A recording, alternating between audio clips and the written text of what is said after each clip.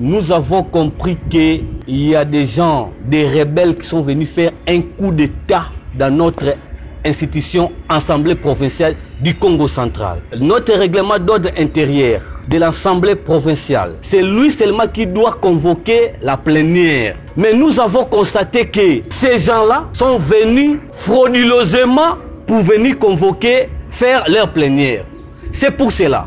Lisez vous-même l'article, parce que vous-même les députés qui avez voté euh, le règlement, lisez vous-même l'article 30, règlement d'ordre intérieur, point 8, et l'article 20 des mêmes règlements d'ordre intérieur ne vous donne pas le pouvoir. Et nous avons compris que parce que nous, nous sommes population, nous allons appliquer aussi l'article 64 de la Constitution pour barrer la route dans tout ce que vous voulez faire.